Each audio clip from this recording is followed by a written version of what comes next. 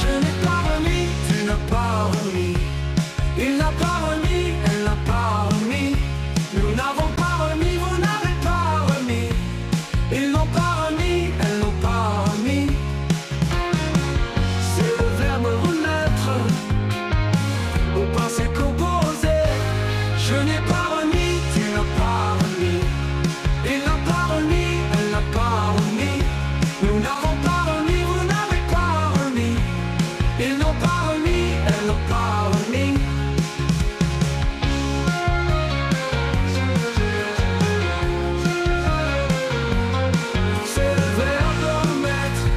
C'est composé.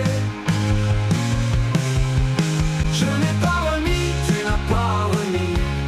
Il n'a pas remis, elle n'a pas remis. Nous n'avons pas remis, vous n'avez pas remis. Ils n'ont pas remis, elles n'ont pas remis.